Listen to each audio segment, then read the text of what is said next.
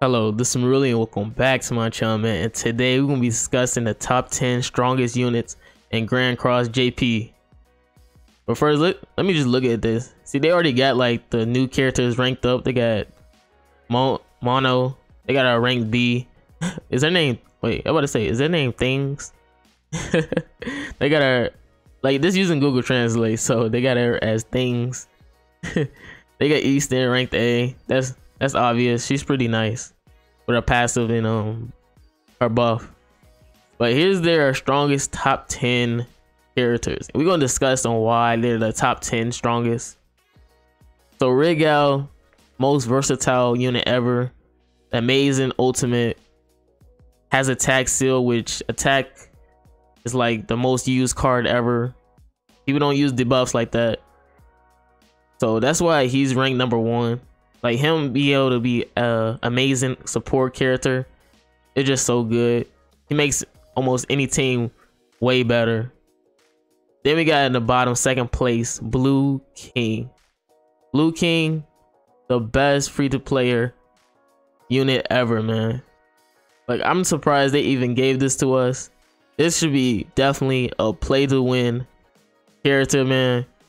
He has amazing kit, Petrify, heal, and then the ultimate that ignores patience. He's just so dumb. Petrify is so disgusting.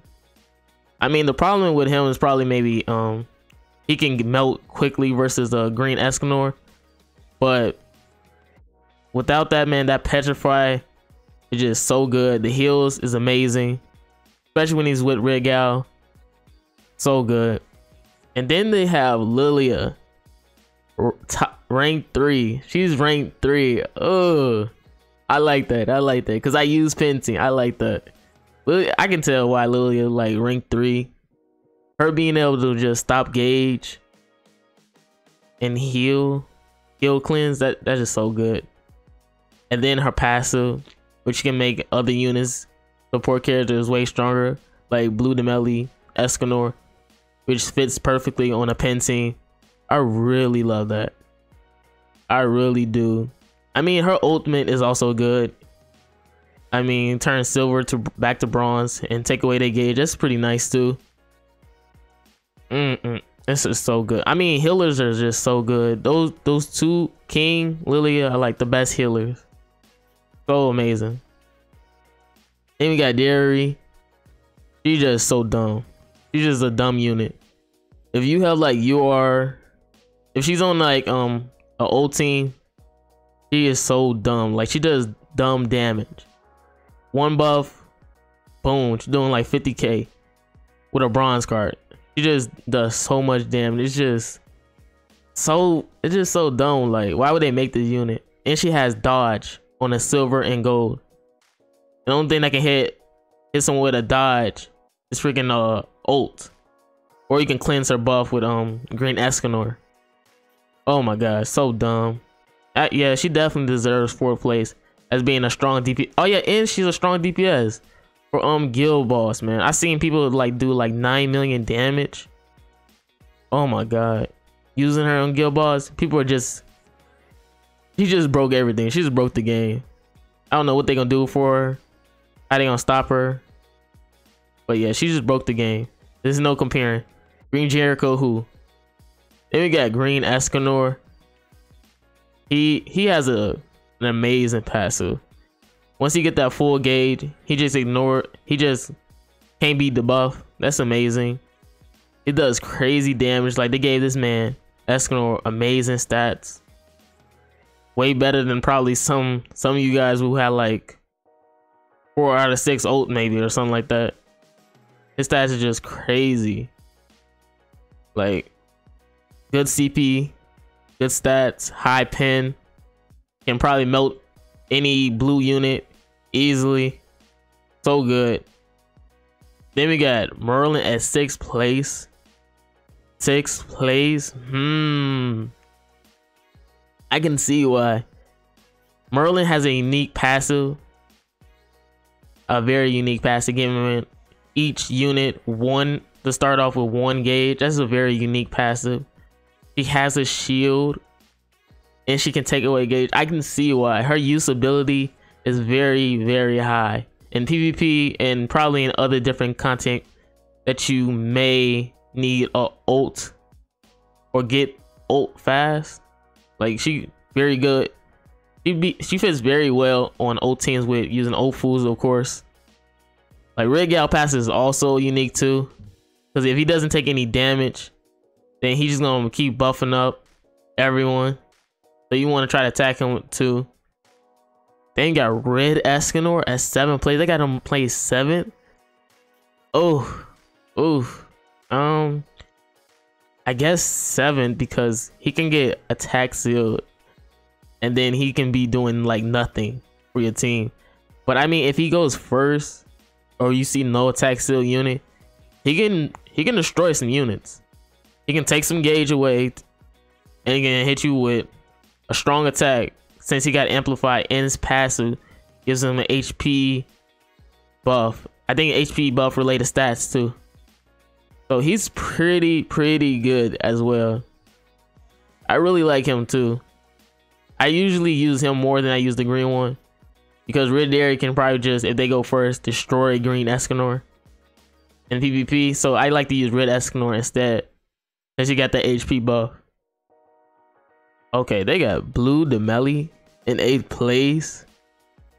Uh, I think they, I think they got him in the top ten because um, when he's he's with Lilia, it's over.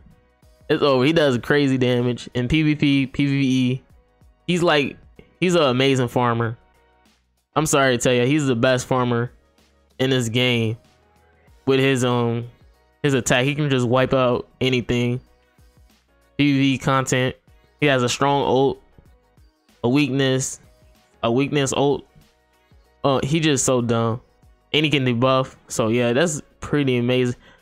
And then if he's stand alone like by himself, in PvE he's usable. In PvP, I wouldn't recommend him using him without Lilia.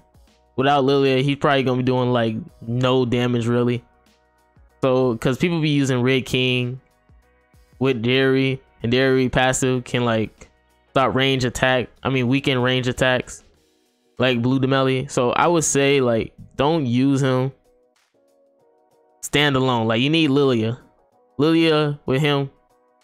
He's a god. He's a god. Estarossa in ninth. Hmm. Estarossa in ninth place. I can see it. I can definitely see that in ninth place. His counter is his counter has been very clutch in PvE PvE content lately.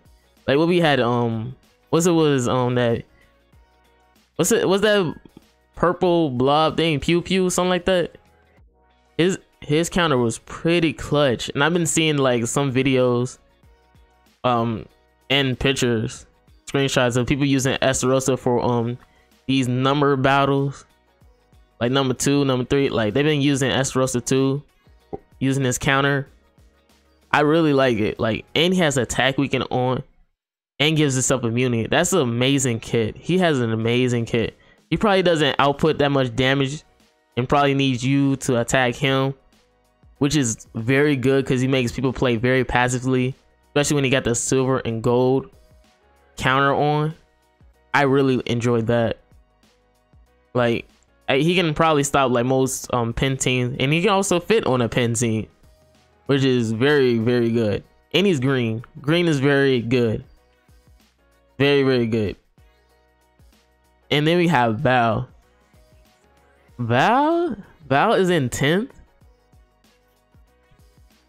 Val, man. Oh man. I can uh should Val be in 10? Val has been not not clutch lately in PvP. Can we put her in 10? Oh my god. Can we can we do that? Because Val has not been clutching in PvP lately. Like I haven't seen less Val and more Red King in PvP. But hmm. Hell Gray Val has been Val is very clutch for tanky, tanky Hell Gray, Hell Gray. Val is clutch. I can see it. I can see it, but I can also see. Hmm, I would say Rick King, but Red King is very just PvP focused, while Val can fit both PvP and PvE. I think I gotta give it to her. I don't think of any other unit who's crossing the 10th place tier, maybe 11 place. Hmm, that fits like that's very good in PvP and PvE. Like Val has been very good in PvE lately too. I think she can have that 10 place. I can I can you can probably find some debates with this um top 10. Like let me see what they got in the S. Oh yeah, none none of these S S units can yeah. Yeah, Val in the top 10. None of these S units can like compare to Val. Yeah, we got Helbram, Red King, Bond. They got Red King twice. Oh my god, Red King is a god like that. You gotta have him twice. Ooh. Red Merlin. How is Red Merlin? Freeze? Uh, Red Arthur. Yeah, he's he. Yeah, Val. Val can tap have 10 place. I don't think any of these other units like crossing the S tier. Yeah, Val can have it. Yep, Val can have 10 place. I fully support Val having 10 place, man. But this is not a bad stronger characters. Like you can probably debate on the rankings. Like you can probably say like um I would probably who would I put in through actually I'm gonna ask you guys who would y'all replace for this top 10 like who who would y'all have as the rankings you know? Because I'm seeing this like it's pretty looking pretty nice. It's pretty nice. I mean you could probably debate with Merlin but then again, you can't because she really helps your team. I'm seeing that the top 10 is usually like very good support support units. Like Derry is on like the only unit who's very offensive. That's like can probably cross the top three. And she's four. She can probably cross the top three and can debate. Who would y'all think is like the top 10, man? Like tell me in the comments, man. Who would y'all want as top 10? Who y'all think is can like switch up the rankings, you know? Cause this looking pretty good. This look like a very good ranking. But thank you guys for watching, man. You know, like, subscribe, comment, all that. This is Merlin, and I'm out. Peace.